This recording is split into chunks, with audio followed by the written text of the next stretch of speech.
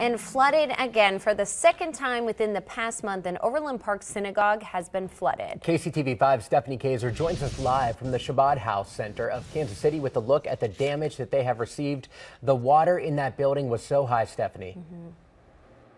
Yes, it was 20 inches high. Now we're now in what would be the preschool room, and everywhere you look, really, you can see damage. I want to show you this slide. It still has mud on it. There's mud on the floor, mud on books.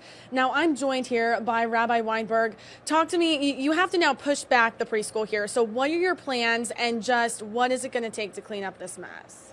Well, we basically had brought in everything. I mean, we were almost ready for it to start preschool, so all yeah. our preschool supplies were here. Not everything was here yet. We had obviously had ordered some new things, and mm-hmm. uh, that some of it had arrived, some of it hadn't. But lots of our new equipment, I mean, and whatever was here is now destroyed. Um, all our preschool books, puzzles, um, you know, houses, you know, kitchen sets, and all that kind of stuff. So we're pretty much starting again from scratch. I mean, and this is really whatever we had salvaged from the last time mm-hmm. is what we had brought in and is now finally totaled. So the good news is we're going to have a totally brand new preschool. Bad news is we got to put it together.